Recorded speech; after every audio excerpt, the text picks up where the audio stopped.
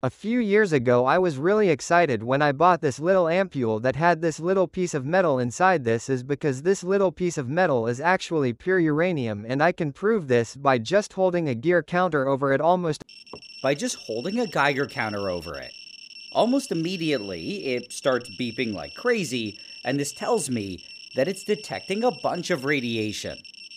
The only sad part is that the majority of its radioactivity is being blocked. is the day so I'll just go over to my hammer drawer and pick out a nice hammer and with a couple gentle taps it is now free I then quickly cleaned it up and got rid of all the glass and now when I test it again it's around 6 times more radioactive than before which I think makes it a lot more fun however I do have to be careful because without the glass it'll start slowly reacting with oxygen in the air and letting off small amounts of radioactive.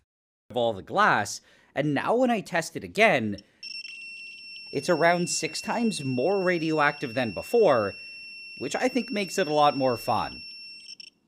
However, I do have to be careful because without the glass, it'll start slowly reacting with oxygen in the air and letting off small amounts of radioactive uranium oxide. Uranium oxide dust which breathing in is generally very not good.